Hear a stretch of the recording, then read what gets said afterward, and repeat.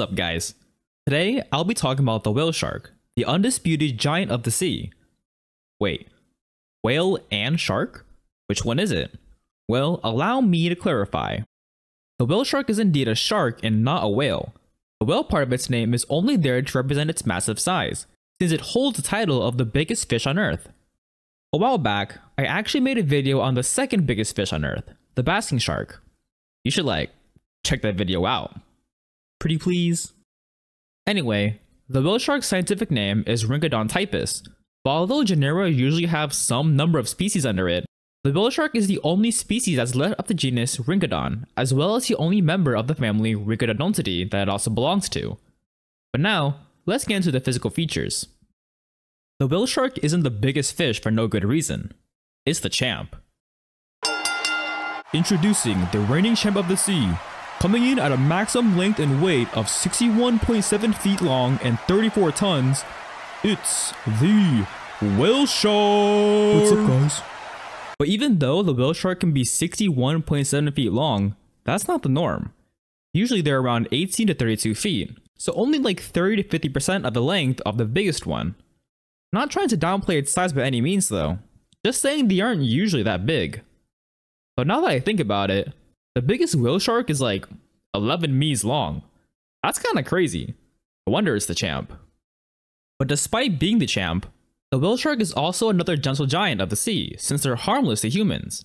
You can even get close to them if you feel like it. They don't really care. You think they like being pet?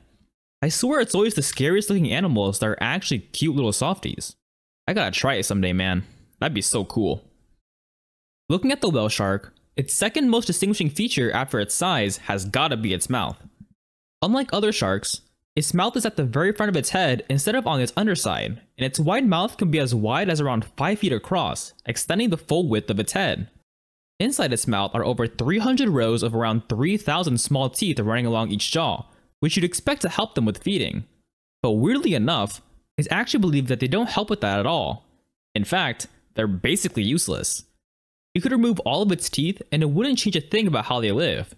They probably wouldn't even care as long as it didn't hurt. But they do have some teeth that serve an actual purpose. Whale sharks have 3,000 more tiny teeth covering each of their small eyes called dermal denticles, which are tiny tooth-like scales protecting their eyes from injury. It was also found that they can protect their eyes by rotating them back into the eye cavities. Kinda creepy to be honest. For a quick overview of the rest of their body parts, the whale shark has a broad, flat head, five big gill slits that you can't see here, two dorsal fins, two pectoral fins with one you can't see here, two pelvic fins with one you also can't see here, one anal fin, and a large, somewhat crescent-shaped tail. Their skin is also super thick, being as much as 4 inches thick and having the consistency of rubber. Fun fact, did you know bungee gum has the properties of both rubber and gum?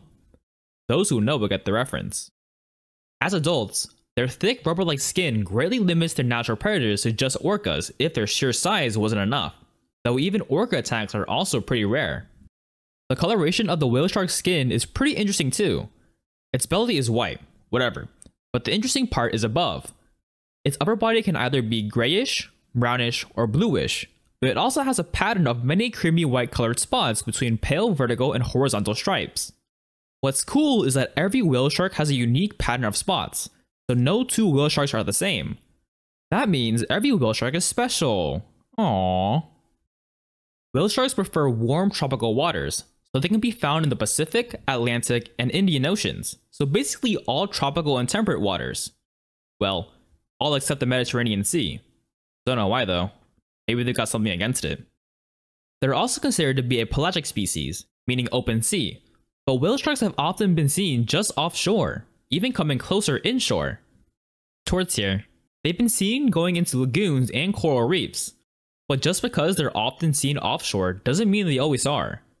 One whale shark was recorded diving at least 1,928 meters deep, possibly going for the massive amounts of lanternfish that lived there. What made it want to go down there in the first place?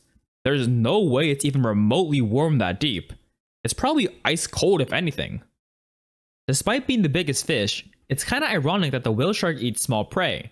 Even though it has a huge wide mouth, its throat is super small, often being compared to the size of just an orange. Imagine that. biggest fish in the ocean and a grapefruit put to 6 feet under. Or I guess maybe it's 10,000 feet under. Either way, kinda embarrassing. Whale sharks are also filter feeders. They have modified gill rakers that can filter food from seawater as small as a millimeter in size, though most of their food is at least somewhat bigger than that. While their filtering system catches both zooplankton and phytoplankton, whale sharks can also eat sea jellies, squid, small crustaceans, and small fishes like sardines. They're able to feed passively by just opening their mouths while swimming, but a more effective way for them to feed is through a suction feeding method. With this method, whale sharks can suck in water at higher speeds, letting them more easily catch speedier prey. As for the reproduction habits, we don't have much information as far as that goes, we did learn that whale sharks are ovoviviparous, where the whale shark pups form inside eggs, hatch internally, and are then given birth to fully formed.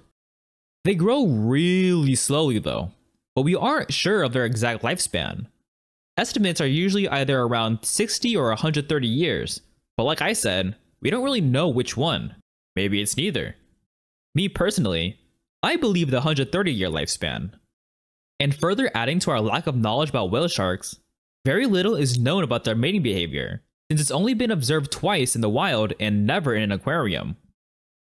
According to the IUCN Red List, the whale shark is classified as an endangered species as of this year, so you know it's up to date.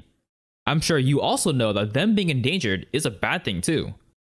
Whale sharks don't have any natural predators, other than orcas and stuff, but that's really only for the juveniles, so their only serious threat are humans.